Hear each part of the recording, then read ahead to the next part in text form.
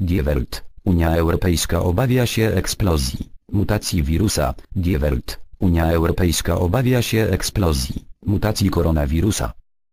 Kraje Unia Europejska muszą więcej testować i przygotować szpitale i oddziały intensywnej terapii na możliwy nowy wzrost infekcji, powiedziała Die Welt, unijna komisarz do spraw zdrowia Stella Kyriakides. Niemiecki dziennik informuje, że w Brukseli panuje nastrój alarmu. Powód to pojawienie się nowych, szybciej rozprzestrzeniających się mutacji wirusa SARS-CoV-2 w Amazonii i w Brazylii, RPA oraz Wielkiej Brytanii.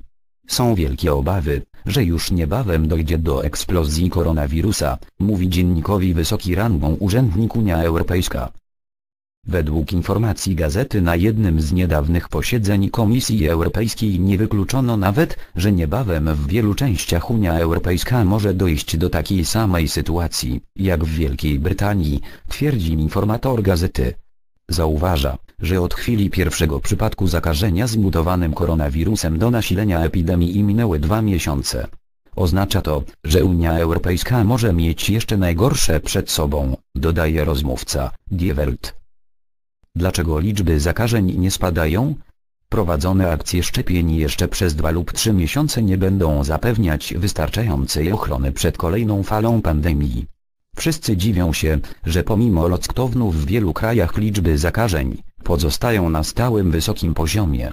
Może być tylko jedno wytłumaczenie. Brytyjski mutant, określany skrótem D1.1.7, twierdzi niemiecki dziennik powołując się na anonimowego urzędnika unijnego. W niektórych krajach Unia Europejska rządy postanowiły zaostrzyć restrykcje w obawie przed mutacjami koronawirusa.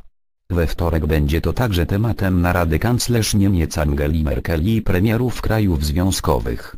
Tymczasem niemiecki Instytut imienia Roberta Kocha poinformował, że minionej doby odnotowano w Niemczech 7141 nowych przypadków koronawirusa, najmniej od 20 października, oraz 214 zgonów.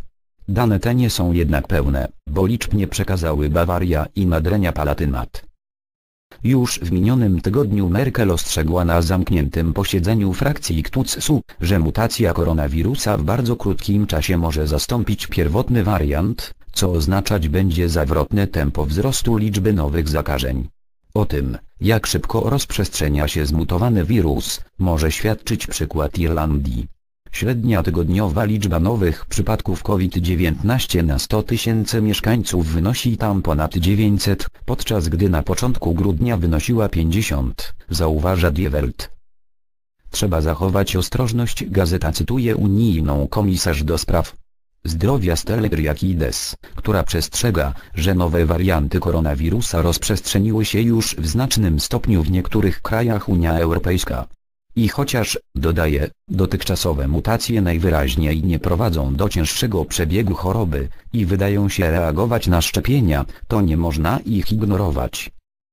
Komisarz podkreśla też, że K gotowa jest udzielać wsparcia finansowego i materiałowego krajom Unia Europejska w prowadzeniu badań, pozwalających zidentyfikować wariant wirusa. Musimy wymieniać się informacjami. To ma decydujące znaczenie, powiedziała Riakides. Kraje członkowskie muszą też więcej testować i zwiększyć możliwości szpitali oraz oddziałów intensywnej terapii, aby być przygotowanym na leczenie coraz większej liczby pacjentów, dodała. Według niej nawet w przypadku zwiększenia tempa szczepień w nadchodzących miesiącach, należy dalej zachować ostrożność.